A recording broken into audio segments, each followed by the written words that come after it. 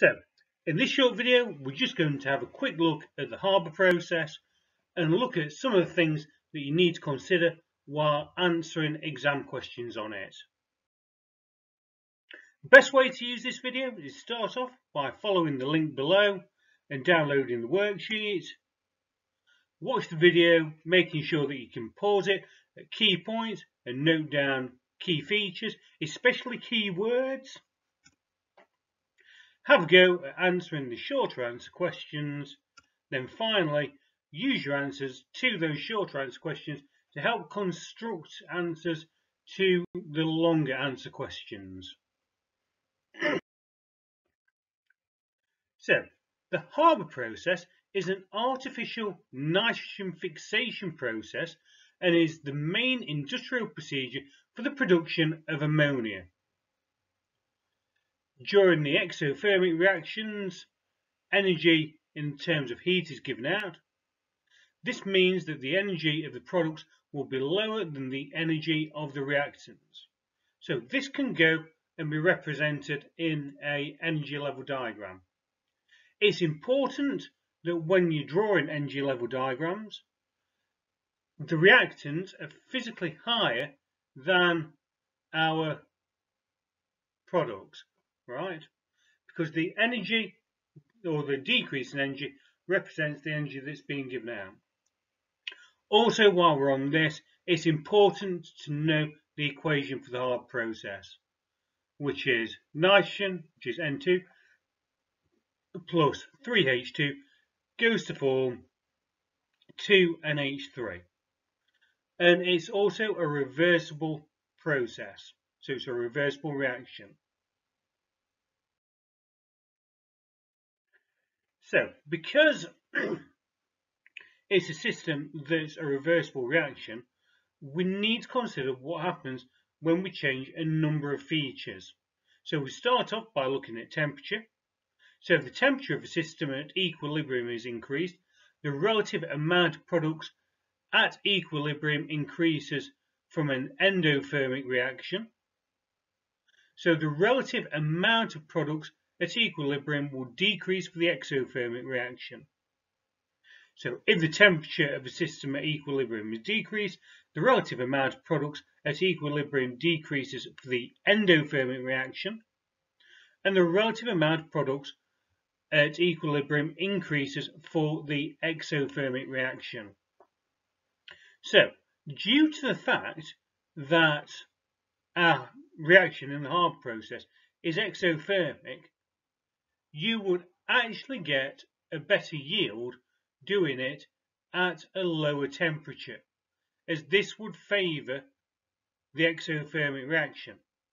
However, doing it at too low a temperature would mean that the reaction would take too long.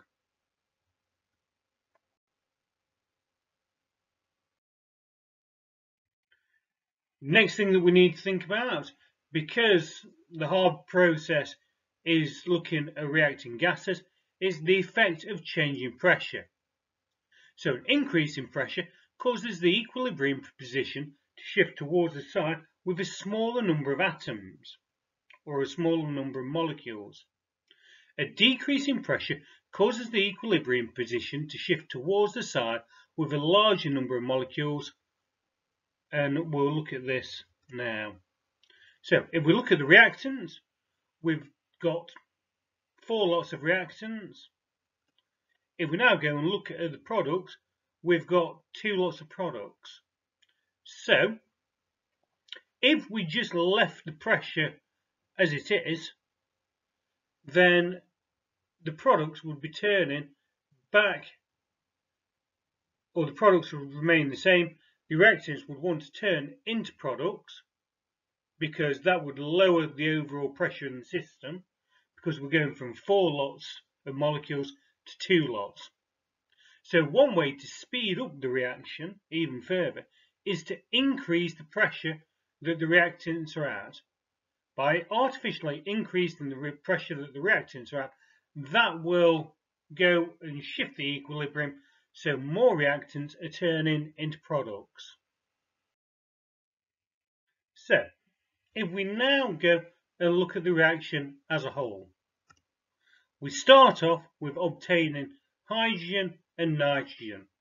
The hydrogen generally comes from breaking down methane and the nitrogen comes from the air. They're then pumped and mixed together in a compressor. That compressor will go and increase the pressure that the gases are at.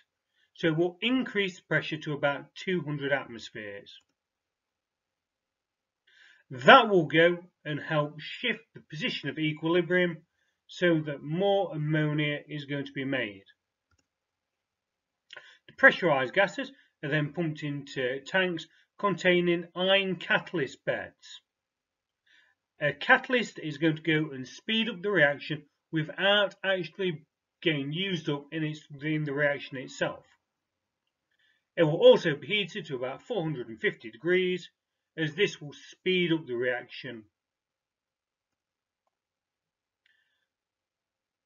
The unreacted hydrogen and nitrogen gases are then recycled back into the system so it makes it more efficient and the liquid ammonia is cooled down and separated off as a liquid at the end.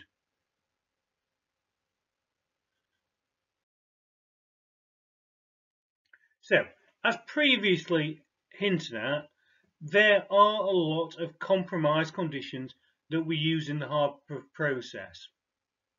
So the pressure chosen for the Haber process is a compromise.